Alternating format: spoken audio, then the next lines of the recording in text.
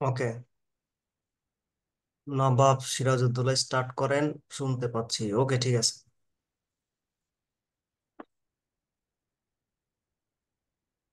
আচ্ছা দেখো তো, এটা তোমাদের বাংলা সূচিপত্র দেখা যায় কিনা?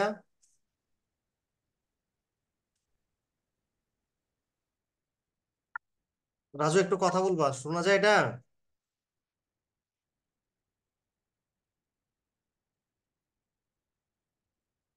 আমি তো তোমাদেরকে শুনতে পাচ্ছি না কাউকেই।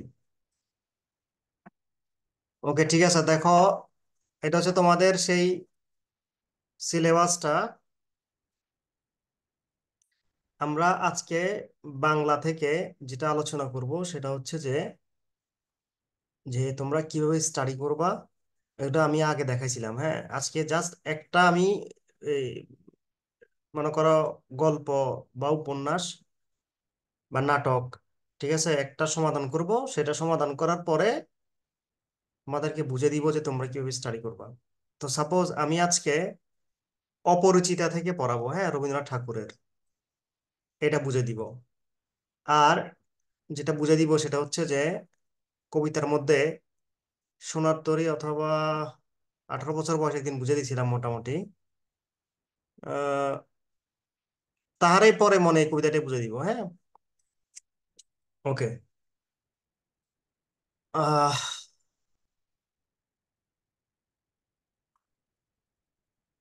এটা হচ্ছে বায়ান্নর দিনগুলো ওকে এটা হচ্ছে বাংলা প্রথম পত্রের জন্য বললাম। আর দ্বিতীয় পত্রের জন্য আমরা যেটা করব সেটা হচ্ছে যে দ্বিতীয় পত্র থেকে প্রশ্ন কীভাবে সেটা সেটা আমি একদিন দেখাইছি। তো আমি আজকে একটা টপিক আলোচনা করব। আলোচনা করে বুঝে দিব যে তোমরা কীভাবে একটা টপিক শেষ করবা। সাপোজ আমি আজকে আলোচনা করব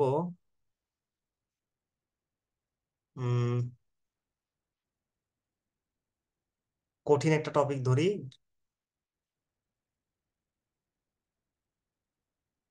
সাপোজ আমি আজকে সন্ধিতে আলোচনা করি হ্যাঁ সন্ধি।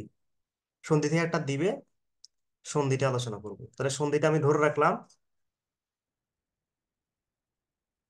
ওকে আমার কাজ হচ্ছে তোমাদেরকে ধরায় দেওয়া যে আসলে তোমরা কীভাবে স্টাডি করবা প্রত্যেকটা টপিক এখন তোমাদের কাছে বই আছে কিন্তু, বইয়ের মধ্যে যে কোনো একটা বই থেকে পড়লে হবে বাংলা দ্বিতীয়টা। একই রকম বাংলা প্রথম পত্রটাও যে কোনো একটা বই থেকে পড়লে হবে। এখন আমরা প্রথমে বাংলা প্রথম পত্রের অপরিচিতা গল্পটা ধরি, এটা রবীন্দ্রনাথ ঠাকুর লিখেছেন। সো আমরা কীভাবে স্টাডি করব এই জিনিসটা দেখব আগে। দেখো, অপরিচিতা। যেটা করবা, সবার আগে জানতে হবে রবীন্দ্রনাথ ঠাকুর। আর এই যে অপরিচিতা, এটা কি গল্প, নাকি নাটক, নাকি উপন্যাস, নাকি গদ্য, নাকি প্রবন্ধ? কি, সেটা জানতে হবে। তো অপরিচিতা, তোমরা জানো যে এটা একটা ছোট গল্প। এই গল্পেরও দুইটা ভাগ আছে, একটা হচ্ছে গল্প, আর একটা হচ্ছে ছোট গল্প। তাহলে এটা হচ্ছে একটা ছোট গল্প এটা। তাহলে তোমাকে জানতে হবে লিখছেন কে? তার পরিচিতি, তার ডিটেলস জানতে হবে, তার গুরুত্বপূর্ণ তথ্যগুলো অ্যাটলিস্ট জানতে হবে। যিনি লিখছেন ওনার লেখকের বা কবির। আর যেই গল্প বা উপন্যাস বা নাটক বা কবিতা বা প্রবন্ধ বা ছোট গল্প তুমি পড়তেছো, সেটা, সেই গল্প সংক্রান্ত বিষয়গুলো নিয়ে আইডিয়া থাকতে হবে। যে লেখকে লিখছেন, উনি কি, উনি যে লেখাটা তুমি পড়তেছো, ওই লেখাটা ওনার মানে হচ্ছে যে ওই লেখা ওনার ওই ওই ধরনের লেখায় ওনার মানে অভিজ্ঞতা কীরকম সেটা জানতে হবে। যেমন রবীন্দ্রনাথ ঠাকুর হচ্ছে ছোট গল্পের জনক। বাংলা ছোট গল্পের জনক হচ্ছে রবীন্দ্রনাথ ঠাকুর। অর্থাৎ ছোট গল্প প্রথম দেখাইছেন রবীন্দ্রনাথ ঠাকুরই। তার মানে এই অপরিচিত ছোট গল্পটা নিশ্চয়ই সব ভালো হবে। কারণ যেহেতু তিনি ছোট গল্পের জনক এবং সবচেয়ে বেশি ছোট গল্প লিখছেন রবীন্দ্রনাথ ঠাকুর। তাহলে বুঝতে হবে যে এটা খুবই গুরুত্বপূর্ণ। আরেকটা বিষয় হচ্ছে যে, মনে করো যে যে তুমি গল্প, নাটক, উপন্যাস প্রবন্ধ, যেটাই বলো না কেন, প্রবন্ধের মধ্যে নর্মালি নায়ক নায়িকা থাকে না, ওখানে কোনো একটা বিষয় বর্ণনা থাকে। তো গল্প, উপন্যাস, নাটক কিংবা কবিতা, কবিতার মধ্যেও মাঝে মাঝে নায়ক নায়িকা থাকে। তো এগুলোর মধ্যে নায়ককে নায়িকাকে বা কেন্দ্রীয় চরিত্রকে কেন্দ্রীয় চরিত্রকে এটা জানতে হবে। অনেক সময় একজন ভিলেন থাকে, ওনার নামও জানতে হবে। এবং ওই তিনজনের নায়ক, নায়িকা বিলেন এই তিন চার জনের যেই উক্তিগুলো, ওনারা কি বলছেন, কি করছেন, কে কোথায়, কীভাবে রিয়েক্ট করছেন, এই জিনিসগুলো তোমার মাথার মধ্যে একটু ভালো করে ঢুকে রাখতে হবে।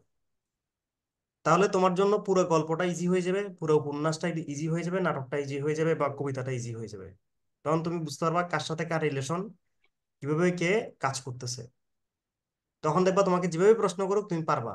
তো এই অপরিচিত গল্পটি তোমাদের জন্য মোটামুটি সহজ এবং সবচেয়ে সুন্দর একটা গল্প ছিল, ছোট গল্প তোমরা যখন পড়ছো। এই জন্য এটা আমি শুরুতে ধরছি যাতে তুমি বুঝতে পারো যে কীভাবে তুমি আগাবা। তা আমরা আগে তাহলে রবীন্দ্রনাথ ঠাকুর সম্পর্কে স্টাডি করি। রবীন্দ্রনাথ ঠাকুরের জন্ম তারিখটা জানতে হবে বাংলা, ইংরেজি দুইটাই। কারণ উনি বিশ্বকবি এবং বাংলা সাহিত্যে প্রথম নোবেল পুরস্কার পাইছে। এই জন্য ওনার জন্ম, মৃত্যু দুইটা খুবই গুরুত্বপূর্ণ। তো জন্ম তারিখ, মৃত্যু তারিখ দুটাই বাংলা ইংরেজি শিখে রাখতে হবে। মুখস্থ করে ফেলতে হবে। উনি আঠারোশো একষট্টি খ্রিস্টাব্দের সাতই মে জন্মগ্রহণ করেন। বাংলায় ছিল বারোশো আটষট্টি বঙ্গাব্দের পঁচিশে বৈশাখ। আর মৃত্যুবরণ করেন, তিনি একষট্টিতে জন্মগ্রহণ করেন আর উনিশশো একচল্লিশে তিনি মারা যান। অর্থাৎ আশি বছরের মতো তিনি বেঁচে ছিলেন। একচল্লিশ সালে যখন মারা যান, সেটা ছিল আগস্ট মাসের সাত তারিখ। তাহলে খেয়াল করো, মারা, জন্মগ্রহণ করছে মে, সাত তারিখ, মারাও গেছে সাত তারিখ। তবে একটা হচ্ছে সাতই মে, আর একটা হচ্ছে সাতই আগস্ট। আর ওদিকে যেহেতু বারোশো আটষট্টি, তাহলে এদিকে হবে তেরোশো আটচল্লিশ। ওদিকে যেহেতু পঁচিশে বৈশাখ, বাংলা তারিখে একটু বেশ কম হয় এই জন্য এদিকে হচ্ছে যে বাইশে শ্রাবণ। কারণ বাংলা কিছু মাস একত্রিশ দিনে আছে। তো এখন আমাদেরকে যেটা করতে হচ্ছে, এই দুইটা তারিখ আমরা মুখস্থ করে ফেলব। এরপরে তিনি কোথায় জন্মগ্রহণ করছেন? তিনি কলকাতার জোড়াসাঁকোর, জোড়াসাঁকো একটা এলাকার নাম। ওই এলাকার একটা বিখ্যাত পরিবার ছিল, ঠাকুর পরিবার। সেই পরিবারে তিনি জন্মগ্রহণ করেন। কিন্তু রবীন্দ্রনাথ ঠাকুরের দাদা বা দাদার আমলের যারা আরও আগের আমলে যারা ছিলেন, তাদের পৈতৃক নিবাস ছিল মানে তাদের স্থায়ী নিবাস ছিল বাংলাদেশের খুলনার দক্ষিণডিহি নামক একটা এলাকা আছে, সেই এলাকায়।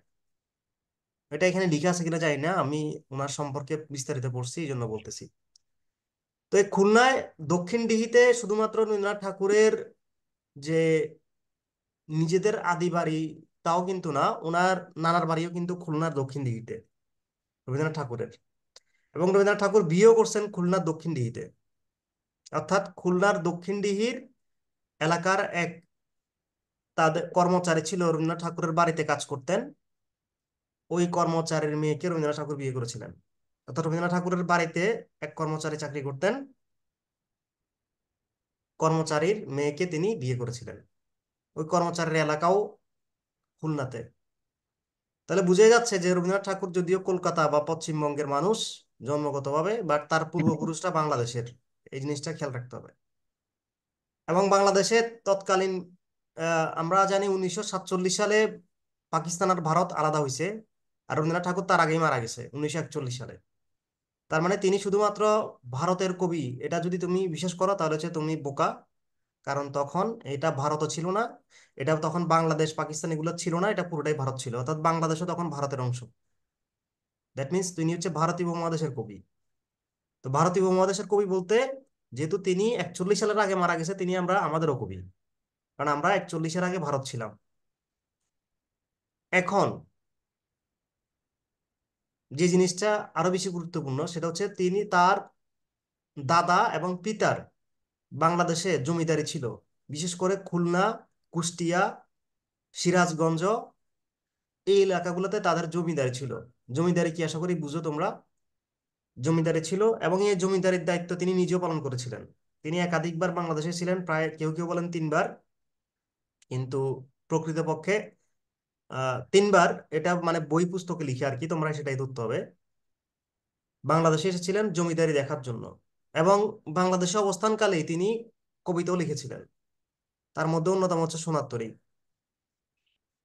তো এই জিনিসগুলো হচ্ছে যে তোমার কুষ্টিয়ার তিনি শিলাইদহে অবস্থান করেছিলেন। এছাড়া সিরাজগঞ্জের শাহজাদপুর এবং অন্যান্য এলাকায় তার এই যে জমিদারি ছিল সেইগুলো তিনি দেখা দেখাশোনা করতেন। এছাড়া নওগাঁর পতিশ্বর এলাকাও তিনি ছিলেন। এগুলো এখানে কিছু কিছু লিখে আছে দেখতেছি। সংক্ষেপে লিখে আছে আর কি যতটুকু লিখা সম্ভব। তো আমাদের বইতে তো এত ইনফরমেশন নাই। এই জন্য আমি একটা বই ধরছি। এটা হচ্ছে জাতীয় বিশ্ববিদ্যালয়। এ সরি উন্মুক্ত বিশ্ববিদ্যালয়ের বই ওরা নিজেরা লিখছে। আমি এখন যেটা দেখাচ্ছি তোমাকে। বুঝা গেছে? হুম। এই যে তোমাদের বই থেকে এগুলো আছে? মানে আছে কিন্তু এত নাই। স্যার আপনি যেগুলো বলতেছেন একদম মানে এগুলো এত নাই।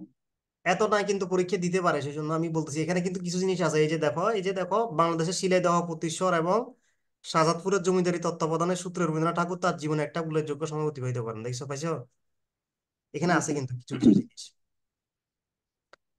তো এটা আমি যতটুকু বলছি এই যে এটা বললে তোমার মোটামুটি অনেকগুলো আইডিয়া ক্লিয়ার হবে অনেক জিনিস তোমার মাথার মধ্যে ঢুকবে সেই জন্য আমি এগুলো বলতেছি। আর তিনি বিশ্বকবি কিন্তু এটা মনে রাখতে হবে। আর তিনি নোবেল পুরস্কার পাইছে সাহিত্যে নোবেল পুরস্কার আছে, বাংলা সাহিত্যে আর কেউ নোবেল পুরস্কার পায় নাই তিনি একমাত্র ব্যক্তি। অনেক ইংরেজি সাহিত্যে অনেকে নোবেল পুরস্কার পাইতেছে তোমার তারপরে ইয়ে ফরাসি তারপরে তোমার বিভিন্ন ভাষার অনেকে নোবেল পুরস্কার পাইতেছে। কিন্তু তোমার এই বাংলা ভাষায় একমাত্র উনি পাইছে আর কেউ পায় না কিন্তু। আর যদি কেউ পাওয়ার যোগ্য ছিল তিনি ছিলেন এই তোমার ইয়া, কাজী নজরুল ইসলাম। কিন্তু কাজী নজরুল ইসলাম ব্রিটিশ বিরোধী ছিলেন বিধায় তাকে নোবেল পুরস্কার দেওয়া হয়নি। আর তার অনুবাদ করার মতো কেউ তাকে মানে অনুবাদ করেন নাই। উনি চাইলে করতে পারতেন বাট তিনি যেহেতু ব্রিটিশ বিরোধী ছিলেন এই জন্য কেউ আর অনুবাদ, অনুবাদও করে নাই রবীন্দ্রনাথ ঠাকুরের গীতাঞ্জলি যখন অনুবাদ করা হয় তখনই তো মূলত তিনি নোবেল পুরস্কার পাইছিলেন। গীতাঞ্জলি আসলে পুরোটা অনুবাদ করা হয় নাই। গীতাঞ্জলির কিছু কাব্য অনুবাদ করা হয়েছিল। অর্থাৎ রবীন্দ্রনাথ ঠাকুর অনেকে বলে যে গীতাঞ্জলি কাব্যের জন্য নোবেল পুরস্কার পাইছে এটা আসলে ভুল। এটা বিভিন্ন বইতে দেওয়া থাকে ইন্টারমিডিয়েট বইতে কি দেওয়া আমি জানি না। এটা ভুল টোটালি তিনি গীতাঞ্জলির জন্য নোবেল পুরস্কার পান নাই। তিনি পাইছিলেন সং অফারিংস এর জন্য। সং অফারিংস এটা হচ্ছে আমাদের যে বইগুলো ওইখানে দেওয়া আছে যে গীতাঞ্জলির জন্য পাইছে। এবার বলতেছি আমি এই সং অফারিংসটা হচ্ছে যে গীতাঞ্জলি কাব্য সহ আরও প্রায় ষোলোটা মনে হয় কাব্যের কিছু কিছু কবিতা এবং গান এই গীতা এই সং অফারিংস এর মধ্যে নিয়ে আসা হয়েছিল। গীতাঞ্জলি কাব্য থেকে সর্বাধিক নেওয়া হয়েছিল। বুঝে গেছে জি এতটুকু আপাতত জেনে রাখো ওটার নাম হচ্ছে সং অফারিংস আর ওটা রবীন্দ্রনাথ ঠাকুর নিজে অনুবাদ করছে অনেক অনেক বইতে লেখা থাকে যে ডব্লিউ বি ইয়েটস অনুবাদ করছে এটা ভুল। এটা অনুবাদ রবীন্দ্রনাথ ঠাকুর নিজে করছে আর ডব্লিউ বি ইয়েটস ওই অনুবাদ গ্রন্থের ভূমিকা লিখে দিয়েছিলেন। ভূমিকা ডব্লিউ বি ইয়েটস লিখে দিয়েছিলেন। ডব্লিউ বি ইয়েটস হচ্ছে একজন ইংরেজ কবি, ইংরেজি সাহিত্যের কবি। তাহলে আবার বলতেছি, গীতাঞ্জলির ইংরেজি অনুবাদের নাম হচ্ছে, গীতাঞ্জলি না এখানে আরও অনেকগুলো কাব্য থেকে কবিতা গান নেওয়া হয়েছে। মোট একশো তেপ্পান্ন না সাতান্নটা গান আছে, আমি এই মুহূর্তে মনে নাই আমার। আচ্ছা আমি দেখতেছি তারাও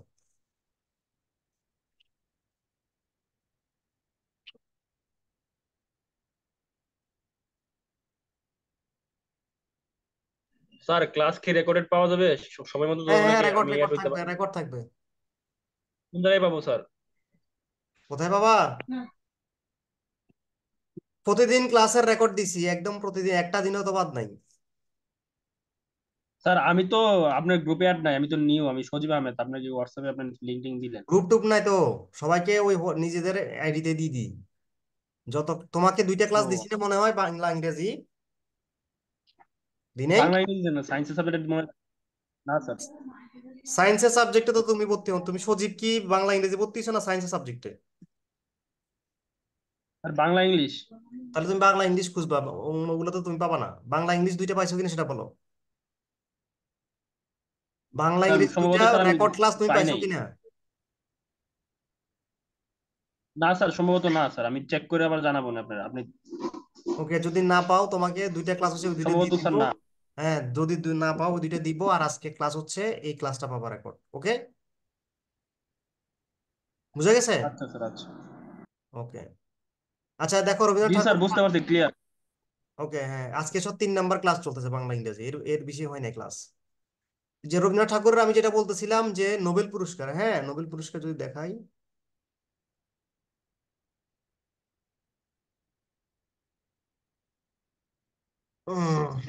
একটু খেয়াল করবা।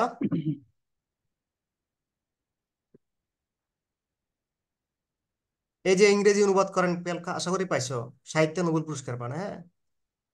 তো এখানে কোথায় আছে আমি একটু খুঁজে বের করতে হবে একটু লাইনে থাকো। আমি একটু ইন্টারনেট থেকে দেখে বলতেছি তোমাদেরকে। যে আচ্ছা স্যার আমাদের যে হ্যাঁ হ্যাঁ। স্যার আমাদের যে আরেকটা যে লেখক আছে না সৈয়দ ও ওয়ালিউল্লাহ। ওয়ালিউল্লাহ ওইখান থেকে কি একটা এমসিকিউ হ্যাঁ থাকবে? একটা বাবা রবীন্দ্রনাথ ঠাকুর থেকে একটা বাবা ওয়ালিউল্লাহ থেকে একটা বাবা কাজী নজরুল ইসলাম থেকে একটা বাবা। কারণ যেহেতু ওয়ালিউল্লাহ তো ছিল চট্টগ্রামের। হুম। দিচ্ছি। নোবেল পুরস্কার কই লিখলো আমি তো বুঝলাম না। নোবেল পুরস্কারটা আলাদাভাবে লেখার কথা। আচ্ছা আমি দেখতেছি। খেয়াল করো। গীতাঞ্জলি হলো রবীন্দ্রনাথ ঠাকুরের লেখা একটি কাব্যগ্রন্থ। এই এই এই বইয়ে মোট একশো সাতান্নটি গীত কবিতা সংকলিত হয়েছে। বুঝতে পারছ? ওকে একটু খেয়াল করবা। গীতাঞ্জলি উনিশশো দশ সালে প্রকাশ হয়। কত সালে? দশ সালে উনিশশো দশ সালে। উনিশশো বারো সালে তিনি সং অফারিংস কাব্যটি প্রকাশ করেন। পাইছো? কত সালে? সং অফারিংস কত সালে? উনিশশো বারো সালে।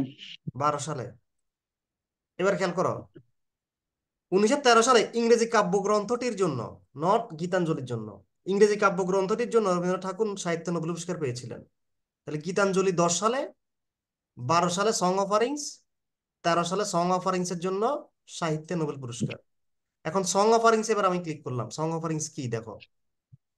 সং অফারিংস এটা যে ইংরেজি। লিখে আছে খেয়াল করবা।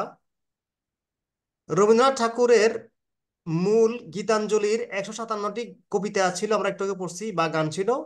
সেখান থেকে সং অফারিংস এর নাম হয়েছে একান্নটি। কয়টি? একান্নটি। একান্নটি। আরও বায়ান্নটি নেওয়া হয়েছে। গীতমাল্য গীতিমাল্য নৈবেদ্য খেয়া শিশু কল্পনা চৈতালি উৎসর্গ স্মরণ ও অচলায়তন থেকে। পাইছো? তাহলে একান্ন আর বায়ান্ন মিলে কয়টা হইল? একশো তিনটা। সং অফারিংসে গান আর কবিতা ছিল একশো তিনটা। বুঝা গেছে? আর গীতাঞ্জলির মধ্যে কয়টা ছিল? একশো সাতান্নটা। সাতান্নটা। গীতাঞ্জলির একশো সাতান্নটা থেকে একান্নটা সং অফারিংসে নেওয়া হয়েছে। আর বাকি বায়ান্নটা নেওয়া হয়েছে অন্যান্য যেই তার কাব্যগ্রন্থ ছিল সেগুলো থেকে। বুঝা গেছে? তো ওই গীতাঞ্জলি কাব্য থেকে সবচেয়ে বেশি নেওয়া হয়েছে না? একান্নটা নেওয়া হয়েছে না? আর বাকি বায়ান্নটা অনেকগুলো থেকে নেওয়া হয়েছে। যেমন তোমার গীতিমাল্য থেকে আঠারোটা নৈবেদ্য থেকে পনেরোটা। এখানে কিন্তু বিস্তারিত লেখা আছে। আমাদের বইতেও আমি এটা লিখে দিছি। তো এই জন্য ওই যে যেহেতু গীতাঞ্জলি থেকে বেশি নেওয়া হয়েছে এই জন্য অনেকে লিখে দেন যে গীতাঞ্জলি কাব্যের জন্য তিনি নোবেল পুরস্কার পাইছে বাট আসলে তিনি পাইছেন সং অফারিংস এর জন্য। ঠিক আছে বুঝে গেছে? Yes sir okay song offerings এর জন্য পাইছে এখন এই সং অফারিংস এর তিনি আবার একটু ঘটনা আছে। ওই দেখো খেয়াল করো একটু উপর দিয়ে পড়ো। বুদ্ধি কি লেখা আছে? এই যে এটা পড়ো এটা। এটা এই লাইনটা পড়ো। কি লিখে আছে? গীতাঞ্জলি। নিচে কি লেখা আছে? Song offerings by Rabindranath song Thakur. A collection of prose translations made by the author from the original Bengali with introduction by যে খেয়াল করো introduction by লেখা আছে introduction by কে ডব্লিউবি ইয়ার্স introduction মানে কি ভূমিকা introduction মানে কি ভূমিকা এবারে খেয়াল করো একটা একদম পাবলিশারের নাম সহ লন্ডন থেকে হ্যাঁ উনিশশো তেরো সাল লেখা আছে নিচে লেখা আছে জি স্যার লেখা আছে তাহলে এখানে বোঝা যাচ্ছে যে আসলে এটা ইংরেজি অনুবাদ ছিল সং অফারিংস যদিও এটা এটা পর, এটা প্রথম সংস্করণ, পরবর্তীতে এটা আর চেঞ্জ করা হয়েছিল। যাই হোক, ওটা জানার দরকার নাই। তাহলে ইন্ট্রোডাকশন লিখে দিয়েছিল ডাব্লিউ বি ইয়ার্স অনুবাদ রবীন্দ্রনাথ ঠাকুর নিজে করছে, এই যে বাই রবীন্দ্রনাথ ঠাকুর নিজে লেখা, নিজে অনুবাদ করছে। তো পরীক্ষা যেভাবে আমি বলি, পরীক্ষা যদি আসে রবীন্দ্রনাথ ঠাকুর কোন কাব্যের জন্য নোবেল পুরস্কার পায়? যদি সং অফারিংস অপশনে থাকে, উত্তর হবে সং অফারিংস সং অফারিংস না থাকলে উত্তর হবে গীতাঞ্জলি। ক্লিয়ার গীতাঞ্জলি কাব্য কত সালে প্রকাশিত হয়? উনিশশো দশ সালে। কত সালে? উনিশশো সালে। সং অফারিংস কত সালে প্রকাশিত হয়? উনিশশো বারো সালে। কত সালে? উনিশশো সালে। গীতা তিনি নোবেল পুরস্কার পাইছে কত সালে? উনিশশো তেরো সালে। উনিশশো তেরো সালে। সং তেরো অফারিংস এর ইন্ট্রোডাকশন বা ভূমিকা কে লিখছে? ডব্লিউ এই যে দেখে বলো ডব্লিউ বি W.B. ইয়েটস বলো বলো। ডাব্লিউ বি ইয়েটস হ্যাঁ আমার মুখে মুখে বলব নাহলে কিন্তু পরীক্ষা পারবা না। ডব্লিউ বি ইয়েটস আর এই গীতাঞ্জলি বা সং অফারিংস কে অনুবাদ করছে? রবীন্দ্রনাথ ঠাকুর নিজে। রবীন্দ্রনাথ ঠাকুর নিজে। রবীন্দ্রনাথ ঠাকুর নিজে। এখন অপশনে যদি রবীন্দ্রনাথ ঠাকুর না থাকে শুধু ডাব্লিউ ইয়েটস থাকে তখন কি দেখাবা? অবশ্যই ডব্লিউবিএস মনে থাকবে তো? মানে এখানে দ্বন্দ্ব আছে এই দ্বন্দ্ব কাটানোর কারণ দ্বন্দ্বটা কীভাবে তৈরি আমি বলি। দ্বন্দ্বটা স্যাররা তৈরি করে নাই। দ্বন্দ্বটা বিভিন্ন বইয়ের লেখকরা তৈরি করছে। তো এখন ওই স্যার যদি কোনো কারণে মনে করো যে স্মরণে না থেকে কোনো একটা প্রশ্ন কপি করতে দিয়ে গিয়ে দিয়ে দেয় তখন কিন্তু ওই ঝামেলাটা তৈরি হয়। আর স্যার যদি মানে একদম খুঁটে খুঁটে এটাকে মানে প্রশ্নটা তৈরি করে তখন কিন্তু এই ভুলগুলা পরিষ্কার প্রশ্ন থাকে না। বুঝা গেছে? ক্লিয়ার তাহলে রবীন্দ্রনাথ ঠাকুরের এই জিনিসটা নিয়ে আর আশা করি ঝামেলা হবে না। আমরা এখানে চলে আসছি আবার। আচ্ছা আরেকটু আমি রবীন্দ্রনাথ ঠাকুরের কিছু জিনিস দেখাই তোমাদেরকে। না, এগুলো জাস্ট জেনে রাখবা আর কি। এমনি পড়ার দরকার নাই। মানে মুখস্থ করতে হবে যেগুলো আমি বলে ফেলছি এগুলা। যে জিনিসটার মুখস্থ করতে হবে, এটা প্রায় বেশিরভাগই বলে ফেলছি। এখন রবীন্দ্রনাথ ঠাকুরের আমরা এই কি কি তিনি লিখছেন সেগুলো একটু দেখব। উপন্যাস, গুরুত্বপূর্ণ উপন্যাস তার। যেটা হচ্ছে যে যে তিনটে সবচেয়ে বেশি মনে রাখব, সেটা হচ্ছে চোখের বালি, গড়ে বাইরে আর যোগাযোগ। বলতো কি কি? চোখের বালি ঘরে বাইরে যোগাযোগ। বাইরে যোগাযোগ। আর এটা শেষের। কবিতা। এটা হচ্ছে কি? শেষের কবিতা। শেষের কবিতা। ওকে আশা করি বুঝে গেছে। এবার খেয়াল করো। কোথায় ছিলাম আমি? এই যে এখানে। ওকে। তিন চারটা উপন্যাস গুরুত্বপূর্ণ বলে ফেলছি। বাকিগুলো তেমন না মনে মনে রাখলেও চলবে। চার অধ্যায়ের চতুরঙ্গ চার একটু করে মনে রাখতে পারো। ছোট গল্প। ছোট গল্প হচ্ছে তার ভিখারিনী। এটা তার প্রথম গল্প। প্রথম ওই যে লিখে দেখো প্রথম ছোট গল্প। লেখা আছে না? দেখো তো আমি এটা বড় করছি লিখে আছে না? প্রথম ছোট গল্প। প্রথম ছোট গল্প জি স্যার। হচ্ছে ভিখারিনী এছাড়া আছে ক্ষুদিত পাষাণ। ক্ষুদিত পাষাণ হ্যাঁ? এগুলো ছোট গল্প। খেয়াল রাখতে হবে ছোট গল্প। আমরাও ছোট গল্প পড়তেছি অপরিচিত ছোট গল্প। এছাড়া আছে কাবলিওয়ালা নষ্টনীর দেয়ানা পাওনা। তারপর আছে তোমার আহ শুভা জীবন অমিত ল্যাবরেটরি রবিবার মুসলমানের গল্প। এছাড়া তুমি একটু যেটা বলছো অপরিচিতা ফটিক তারপর হচ্ছে তোমার, এই তোমার শাস্তি, তারপর হচ্ছে তোমার আমরা আরেকটা পড়ছি হৈমন্তী এগুলো কিন্তু তার ছোট গল্প, এখানে অনেকগুলো দেওয়া নাই। সবগুলো দেওয়া সম্ভব না, তার কারণ তার ছোট গল্প অনেকগুলো কিন্তু, উপন্যাস অনেকগুলো, কাব্যগ্রন্থ সাতান্নটা। তো সাতান্নটা এখানে ওরা দেয় নাই, এরা গুরুত্বপূর্ণগুলো দিছে। যেমন কাব্যগ্রন্থের মধ্যে এখানে দেওয়া আছে ভানুসিংহ ঠাকুরের পদাবলী মানসী সোনার তরী সঞ্চয়িতা। সঞ্চ ই ই থাকলে এটা হচ্ছে রবীন্দ্রনাথ ঠাকুরের। ই রবি এই জন্য ই রবি সঞ্চয়িতা রবীন্দ্রনাথ ঠাকুরের। আর যদি বলে সঞ্চিতা তখন হচ্ছে কাজী নজরুল ইসলাম। মনে থাকবে তো? সঞ্চিতা লিখছে কাজী নজরুল ইসলাম। এটাও তার কাজী নজরুল ইসলামের কাব্যগ্রন্থ সঞ্চিতা। আর সঞ্চয়িতা ই ই হচ্ছে রবীন্দ্রনাথ ঠাকুরের। ই ইতা বসলে রবীন্দ্রনাথ ঠাকুর। আশা করি ক্লিয়ার সঞ্চিতা আর সঞ্চয়িতা দুইটার মধ্যে ঝামেলা তৈরি হবে এই জন্য বলে দিলাম। পুনশ্চ বা পুনশ্চ আর হচ্ছে যে কি, খেয়া, নৈবদ্য, পত্রপুট। এগুলো হচ্ছে তার কাব্যগ্রন্থ। সাতান্নটা আছে, এখানে সবগুলো দেওয়া নাই। নাটকের মধ্যে আছে বাল্মীকি পত্রিকা এটা তার প্রথম নাটক। লিখে আছে এখানে হয়তো, এই লিখে আছে যে প্রথম নাট্য সাহিত্য। বাল্মীকি প্রতিভা। রাজা, রথের রশি, এটা দরকার নাই, ডাকঘর গুরুত্বপূর্ণ, ডাকঘর। বাল্মীকি প্রতিভা, ডাকঘর রক্ত করবী চিরকুমার সভা। এই দুইটা মোটামুটি গুরুত্বপূর্ণ। এছাড়া তার একটা প্রচলিত চলচ্চিত্র আছে, নাম হচ্ছে নদীর পূজা। এটা তার পরিচালিত চলচ্চিত্র। রবীন্দ্রনাথ ঠাকুরের পরিবারের সদস্যদের যদি তুমি নাম জানো, ঠাকুর পরিবারের মধ্যে আছে রমানাথ। রমানাথ ঠাকুর ছিলেন কি? মানে হচ্ছে যে রবীন্দ্রনাথ ঠাকুরের কি বলব? মনে করো যে পরিবারের একজন। আমি এটা মানে তোর উত্তরসূরি। আচ্ছা বাদ দিলাম। দেবেন্দ্রনাথ হচ্ছে তার দাদা মশাই রবীন্দ্রনাথ ঠাকুরের কি? দাদা মশাই দেবেন্দ্রনাথ ভুল বলছি দাঁড়াও। দেবেন্দ্রনাথ হচ্ছে রবীন্দ্রনাথ ঠাকুরের বাবা। রবীন্দ্রনাথ দেবেন্দ্রনাথ ঠাকুর হচ্ছে রবীন্দ্রনাথ ঠাকুরের বাবা। হ্যাঁ। আর দ্বারকানাথ হচ্ছে রবীন্দ্রনাথ ঠাকুরের এ, পি- পিতামহ বা নানা এ দাদা। ক্লিয়ার দ্বারাকাত দ্বারাক দ্বার দ্বারকানাথ হচ্ছে রবীন্দ্রনাথ ঠাকুরের দাদা আর দেবেন্দ্রনাথ হচ্ছে রবীন্দ্রনাথ ঠাকুরের বাবা। মনে থাকবে তো এবার? এছাড়া সত্যেন্দ্রনাথ জ্যোতিরিন্দ্রনাথ স্বর্ণকুমারী অবীন্দ্রনাথ গগনেন্দ্রনাথ রথীন্দ্রনাথ এটা হচ্ছে রবীন্দ্রনাথ ঠাকুরের ভাই বোন ক্লিয়ার এর মধ্যে তোমরা স্বর্ণকুমারী দেবীর নিশ্চয় নাম শুনছো হয়তো তোমরা কবিতা পড়ছিলে কোনো না কোনো জায়গায়। নাম শুনছিলে শুনছি হ্যাঁ। অনেকে হয়তো সত্যেন্দ্রনাথের নামও শুনছো। ওনার নাম হচ্ছে সত্যেন্দ্রনাথ ঠাকুর। উনি কিন্তু মানে সত্যেন্দ্রনাথ না ঠাকুর সত্যেন্দ্রনাথ ঠাকুর। শুনতে পারতো শুনে শুনে থাকতে পারো। অনেকে যতীন্দ্রনাথ ঠাকুরের নাম শুনছো অনেকে হয়তো। উনি নাট্যকার ছিলেন বিখ্যাত নাট্যকার ছিলেন ওই সময়। তো যাই হোক এই তার পরিবারটাই আসলে সাহিত্যিক পরিবার। মানে তাদের পরিবারের বিষয়ে হচ্ছে সাহিত্য। মানে তারা সবসময় সাহিত্য নিয়ে পড়ে থাকতো তাদের পরিবারটা। তার ভাই বোন তারপর হচ্ছে যে ইভেন তার দাদা তার বাবা এরাও কিন্তু সাহিত্য চর্চা করতেন। আশা করি ক্লিয়ার এই জন্যই মানে ওই ওনাদের মানে এই উনি নোবেল পুরস্কার পাওয়ার মূল পেছনের গল্পটা হচ্ছে যে ওনার পরিবারটাই হচ্ছে সাহিত্য কেন্দ্রিক এই জন্যই ওনার মানে হচ্ছে যে সাহিত্যের এত বেশি প্রতিভা ছিল। আচ্ছা তারপর হচ্ছে যে আমরা আর কি জানতে পারি, এই আমরা বেন তোমাদের বইতে যেটা আছে ওইটাতে চলে যাচ্ছি।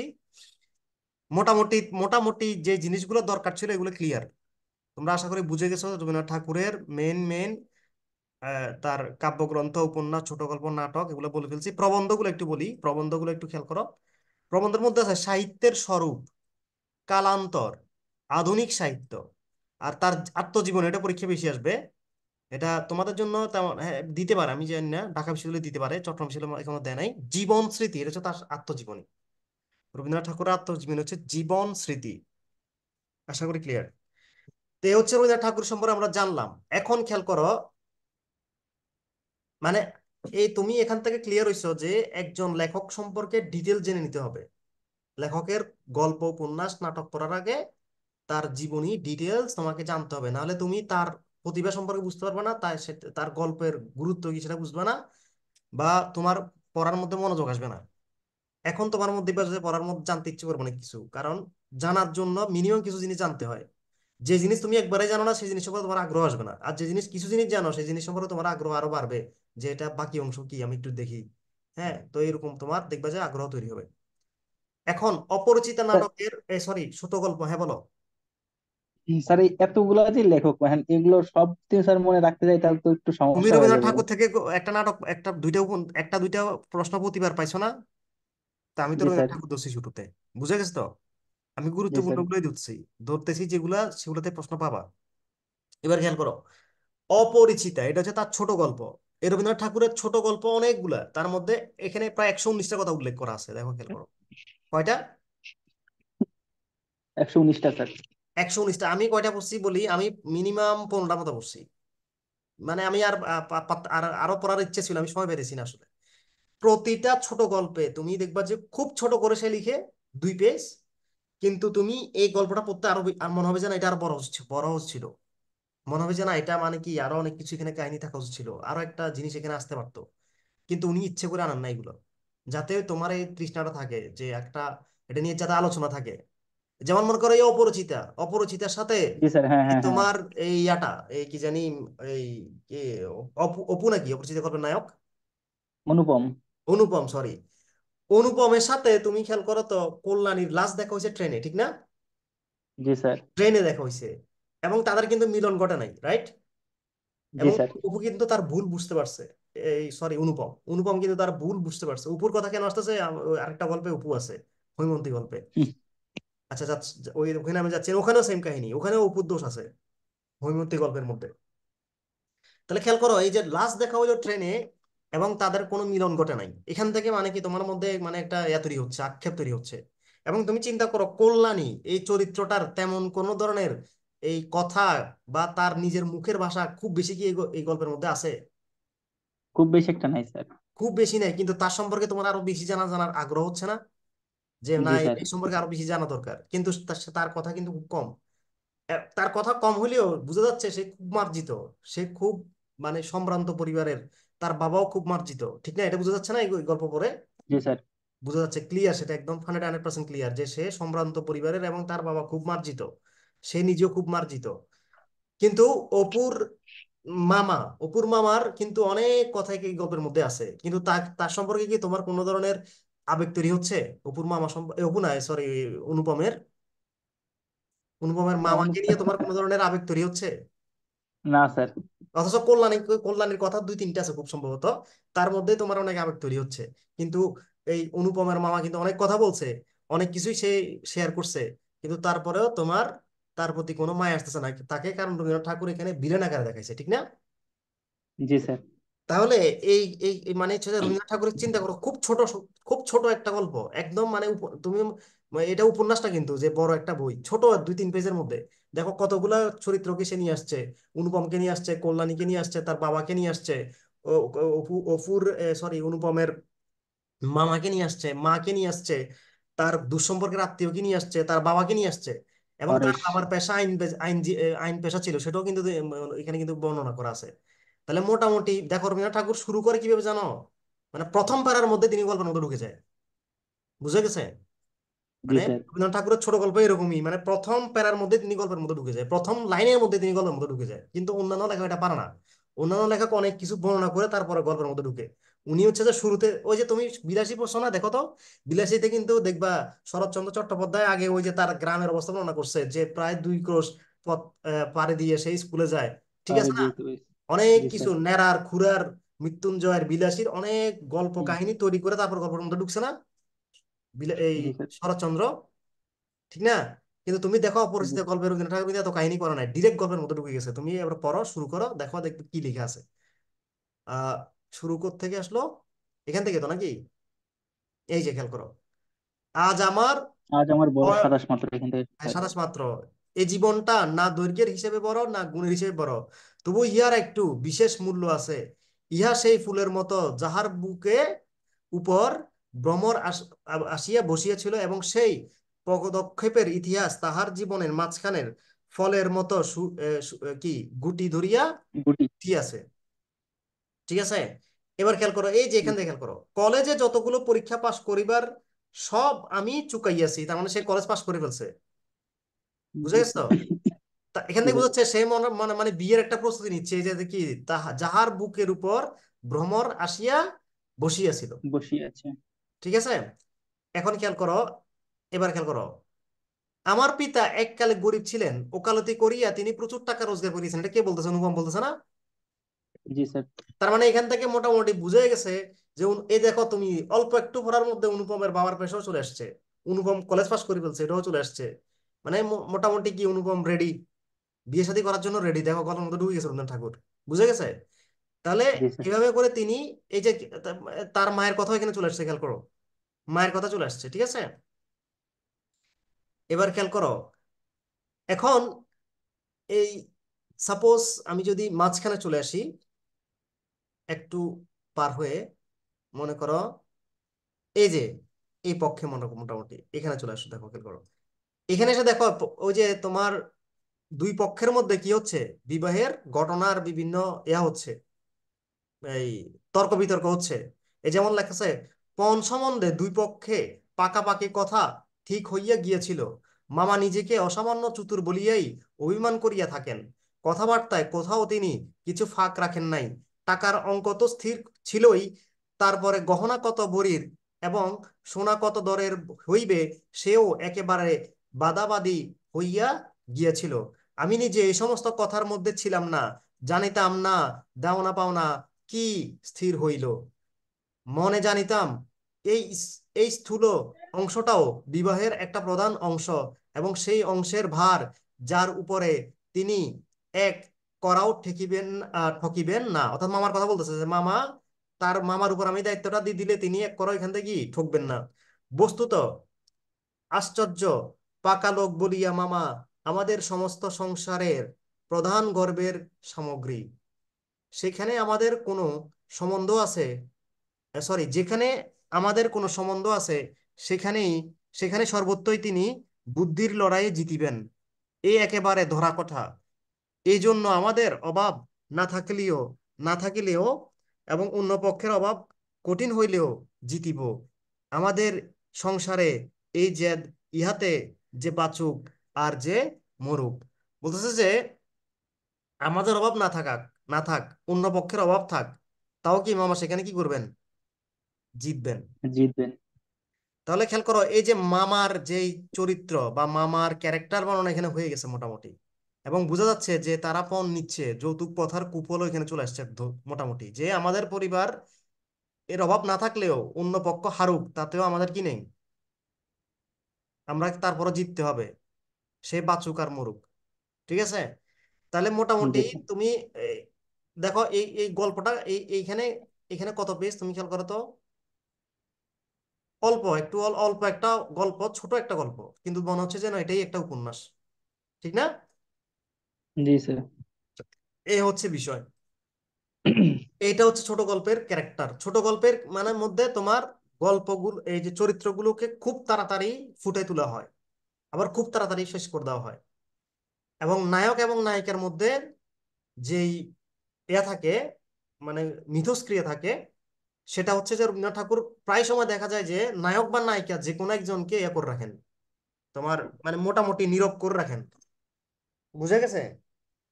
যেমন খেয়াল করো এই গল্পের মধ্যে কল্যাণীর কে মোটামুটি সে নীরব রাখছে রবীন্দ্রনাথ ঠাকুরে মানে তার কথাটা আমারটা দেয় না এখানে। মানে তার মুখের ভাষা খুব কম। তুমি দেখবে এখানে মামা কথা বলতেছে শম্ভুনাথ বাবু কথা বলতেছে তারপরে তোমার এই অনুপমা কথা বলতেছে তারপরে অনু অনুপমের পিস্তুত ভাই ওর নাম কি জানি? হরিশ। হরিশ। নাকি? জি স্যার। হরিশ কেডা? তোমরা বলছো আমি তো আমি আমার মনে নাই ডিটেলস আমি বহুত আগে বলছি বলো হরিশ কে? হরিশ হলো স্যার ওই যে অনুপমের বন্ধু না জানি পিস্তিত ভাই আর কি টাইপের পিস্তুত ভাই আমার কাছে মনে হয়। আচ্ছা যাই হোক পিস্তিত এবার ভাই অনেকের কথা এখানে চলে আসছে কিন্তু কল্যাণীর কথা খুব কম ঠিক না? মানে কল্যাণীর জি স্যার। ভাষা মুখের ভাষাটা খুব কম। তাহলে এখান থেকে মোটামুটি বোঝা যায় যে এই মানে এভাবেই মানে রবীন্দ্রনাথ ঠাকুর গল্প তৈরি করেন। আরেকটা জিনিস খেয়াল করবা রবীন্দ্রনাথ ঠাকুরের বেশিরভাগ গল্প তুমি আর কোনো গল্প পড়ছো কিনা জানি না আমি পড়ছি অনেকগুলা। বেশিরভাগ গল্পে তিনি নারীদেরকে প্রাধান্য দিয়ে থাকেন। মানে নায়িকা যিনি তাকে প্রাধান্য দিয়ে থাকেন। মানে নায়িকা কেন্দ্রিক করে তারা গড়ে তোলার চেষ্টা করেন গল্পটাকে। যেমন এটাও মোটামুটি নায়িকা কেন্দ্রিক। কেমনে? তার বিনুটা হলো পিস্তুত ভাই। হ্যাঁ পিস্তুত ভাই। তাহলে খেয়াল করো কেমনে? দেখো খেয়াল করো